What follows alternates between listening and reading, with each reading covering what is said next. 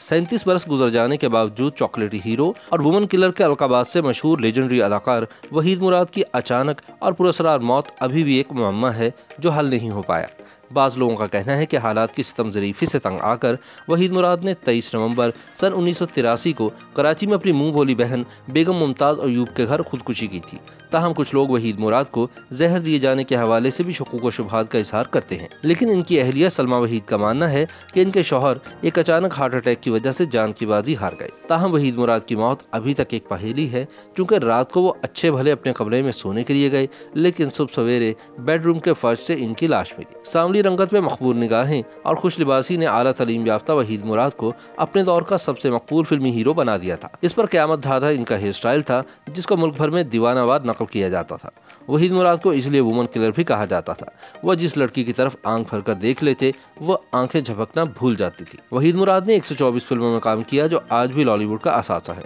इन फ़िल्मों में औलाद, दामन, हीरा और पत्थर, अरमान, जाग उठा इंसान, देवर भाभी, दिल मेरा धड़कन तेरी, इंदलीब नींद हमारी ख्वाब तुम्हारे मस्ताना माही, तुम सलामत रहो, खुदा और मोहब्बत और आवाज़ और कली शामिल है। वफात के सताईस साल बाद, सन 2010 में, वहीद मुराद को तमगा इम्तियाज़ से नवाजा गया। वहीद मुराद के वालिद निसार मुराद कराची में कामयाब फ़िल्म डिस्ट्रीब्यूटर थे।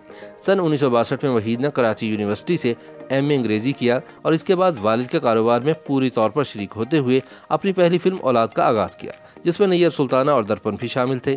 लेकिन इनकी अदाकारी के असल जौहर तब खुलकर सामने आए, जब इनके दोस्त परवेज मलिक अमेरिका से फ़िल्म साजी का डिप्लोमा लेकर लौटे और इन्होंने वहीद मुराद की फ़िल्म हीरा और पत्थर की हिदायतकारी के फ़राइज संभाल लिए। इस फ़िल्म में वहीद मुराद ने गदा गाड़ी वाले का किरदार अदा किया, जो कि जेबा की मोहब्बत में गिरफ़्तार हो जाता है। इस फ़िल्म को ज़बरदस्त कामयाबी हासिल हुई और वहीद मुराद को सन उन्नीस के बेहतरीन अदाकार का निगार अवार्ड दिया गया। बाद में वहीद मुराद, परवेज मलिक, मौसीकार सुहेल राना और गीत निगार मसरूर अनवर की एक ऐसी टीम तैयार हो गई जिसने इंडस्ट्री को पैदर पै कामयाब फ़िल्में दी।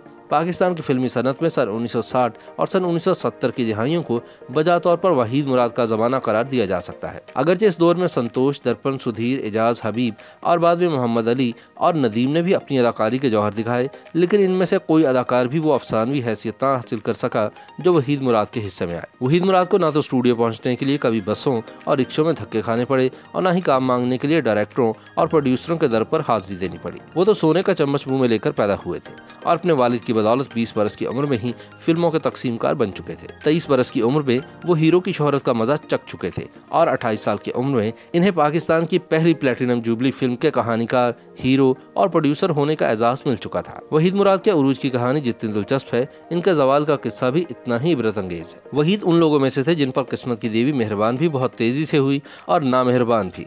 चालीस बरस का होते ही इनके स्टारडम का सहर टूटने लगा। हालाँकि वो अभी बहुत कुछ कर सकते थे। जवाल आने की कई वजूहत थी। एक तो इन्हें मेदे का अल्सर हुआ और लंबे इलाज पर सेहत और जमा पूंजी दोनों गवा बैठे। दूसरा, कुछ साथी खातन फनकाराओं की जानब से भी इनके साथ काम से इनकार किया जाने लगा। अस्सी की दिहाई का आगाज़ इनके लिए नाखुशगवारियत लेकर आया। सन उन्नीस सौ अस्सी का सूरज शुरू हुआ तो इसने वहीद मुराद को एक नाकाम, मायूस प्रागंदा फ़िक्र और झुंझलाए हुए इंसान के रूप में देखा। फ़िल्म किरण और कली वहीद मुराद को अपनी ज़िंदगी में मिलने वाली आखिरी कामयाबी थी। सन उन्नीस सौ इक्यासी में रिलीज़ होने वाली इस फ़िल्म के आगे पीछे इनकी तीन चार फ़िल्में फ्लॉप हुई। अगले बरस भी इनकी कोई फ़िल्म कामयाबी हासिल न कर सकी। फिल्मी अखबारों में अब वहीद मुराद के खिलाफ उन सब लोगों ने अपना गुस्सा उगलना शुरू कर दिया था, जो इनके साथ माजी में काम कर चुके थे और इनसे नाला थे। वहीद मुराद को अब मोहम्मद अली और नदीम की फ़िल्मों में साइड रोल मिलने लगे जिन्होंने बादल नखास्ता कबूल तो कर लिए, लेकिन दिल ही दिल में कुटते रहे। इन दोनों इनकी शराब नोशी तफरी तबाह की हदूद से निकल कर एल्कोहलिज्म के दायरे में दाखिल हो गए। बाद सितंबर सन उन्नीस सौ तिरासी में लाहौर में रावी रोड पर कार चलाते हुए इनका एक खौफनाक एक्सीडेंट हुआ, जिससे इनके चेहरे पर शदीद चोटें आई। वह महीनों अस्पताल में रहे, इनका खूबसूरत चेहरा, पहले की तरह तरोताज़ा और दिलकश न रहा, और फ़िल्म की बनावटी दुनिया ने इनसे मुँह मोड़ना शुरू कर दिया।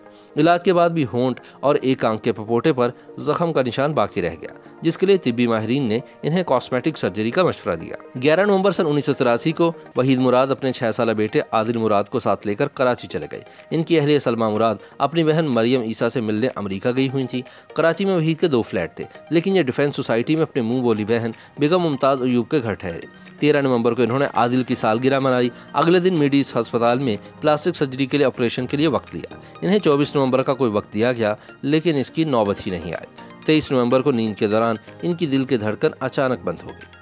YouTube पर गुगली न्यूज़ देखने के लिए youtube.com की सर्च बार में गुगली न्यूज़ टीवी टाइप करें। गुगली न्यूज़ के पेज पर सुर्ख रंग के सब्सक्रिप्शन वाले बटन पर क्लिक करना ना भूलिए। YouTube पेज पर अपलोड होने वाली वीडियो से बाखबर रहने के लिए बेल आइकन पर क्लिक कीजिए। आपको हर नई वीडियो के बारे में नोटिफिकेशन मौसू हो जाएगा।